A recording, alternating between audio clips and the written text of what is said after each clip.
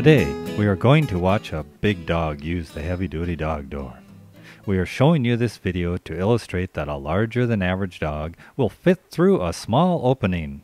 If you've ever had an escape artist dog, you know what an amazingly small openings they will fit through.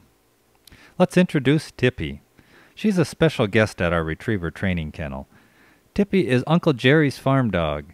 She weighs over 130 pounds, stands 26 inches high, is 14 inches wide, and at 10 years old suffers some hip joint stiffness. Being this big, you would think she would not fit through the heavy-duty dog door, with its building opening of 12.5 by 17.5 inches and a door frame opening of 11 by 15 inches. But let's watch. Remember, a dog does not need to walk upright through a door like a person. Note, the door that Tippy is using here is an original design prototype that is over 20 years old and still working great. Keep in mind, the smaller the door, the less area for loss of heating and cooling.